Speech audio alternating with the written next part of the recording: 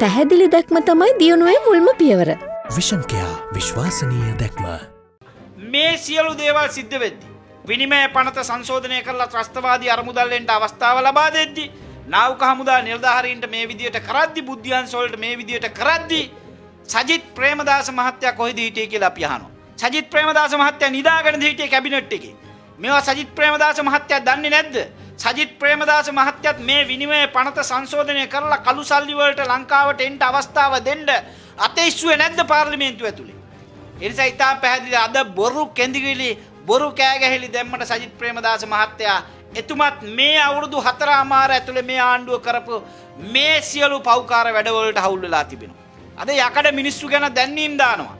ඇත්තම යකඩ මිනිස්සු අද දුම්රිය පොළ ළඟ වැස්සට තෙමි තෙමි දුක් විඳිනවා තමන්ගේ පෙන්ෂන් එක පඩිය වැඩි කර ගැනීම සඳහා. ඒ මිනිස්සු තමයි ඇත්ත යකඩ මිනිස්සු. කොටි ඉදිරියේ නැවෙන්නේ නැතුව වැටෙන්නේ නැතුව දනින් වැටෙන්නේ නැතුව කෙලින් හිටපු යකඩ මිනිස්සුන්ට අද යකඩ මිනිස්සු ගැන දැන්වීම් දාන ආණ්ඩුවේ එක මිනිහෙක් උදව් කරන්නේ නැහැ. ආණ්ඩුවට සදාචාර අයිතියක් තියෙනවා. මේ ආණ්ඩුවට අවුරුදු පහක් රට පාලනය කරන්න පුළුවන් වුණේ ඒ මිනිස්සු දිනාදීපු නිදහස නිසා. ඒ මිනිස්සු දිනාදීපු නිදහසින් තමයි ඔය යකඩ මිනිස්සු ගැන දැන්වීම් දාන මිනිස්සුන්ටත් අද කෙලින් බෝම්බ බියකින් තොරව කෙලින් හිටගෙන ඉන්න පුළුවන්කම ලැබුණේ.